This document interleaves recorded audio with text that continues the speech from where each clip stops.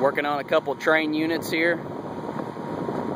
They've got temporary stats in the return air. And I'm trying to disconnect the Novar that's already in it. And I'm going to put in TCS.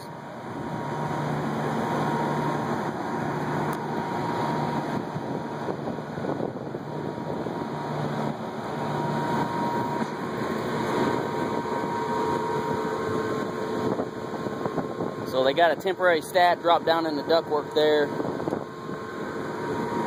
Looks like the Novar failed and somebody came out here and put in a drop stat in the return. There's their Novar.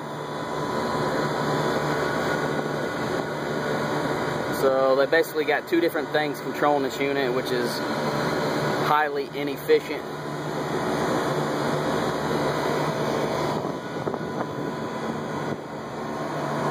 I'm gonna clean it up, get rid of all these extra wires, get rid of the drop stat, tear out the Novar. I'm gonna throw in a wireless wireless T-stat down in the space. And I should be able to use this eight conductor right here to tie into that stat. And it's gonna clean this unit up real nice. Make it a lot easier to work on.